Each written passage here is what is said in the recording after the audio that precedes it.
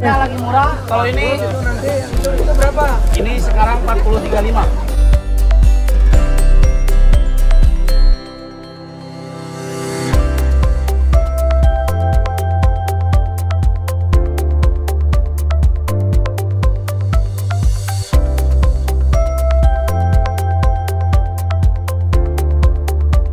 Sekarang harga sudah nggak naik lagi,